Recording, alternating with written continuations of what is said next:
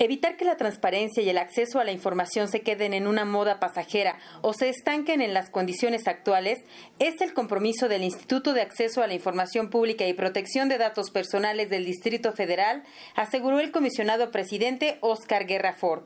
Durante la firma de un convenio interinstitucional de colaboración con la Asamblea Legislativa del Distrito Federal, Guerra Ford comentó. Debemos consensar estrategias de corto, mediano y largo plazo en donde se definan actividades concretas con el compromiso por todos los actores involucrados, tanto en el ámbito social como político, para hacer que estos temas sean una práctica virtuosa y cotidiana en todas las instituciones de gobierno de esta ciudad y que también puedan ser utilizados por todos los ciudadanos. El convenio firmado por el comisionado presidente del InfoDF y por el presidente de la Comisión de Gobierno, el diputado Manuel Granados Covarrubias, establece la capacitación de los diputados locales y de los servidores públicos del órgano legislativo sobre los contenidos de la Ley de Transparencia, la Ley de Protección de Datos Personales y la Ética Pública.